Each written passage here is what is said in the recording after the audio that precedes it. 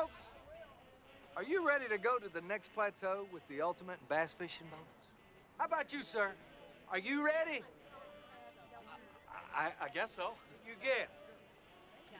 The superior fishability of this boat is a given. After all, I drive one. But its supreme performance truly is what sets it apart from the competition. Hey, listen, the XL Series, it's not for everybody. By gosh, it might just be for you.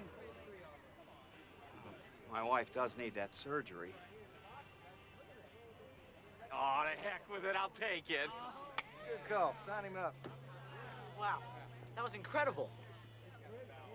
Hooked him like a big mouth bass. Of course, if he can't afford it, I'll just repossess it. So it's really a win-win situation for me. All right, Johnson. Reporting for duty. What's your name, little man? Scott, Scott, follow me. I'm gonna give you the grand tour.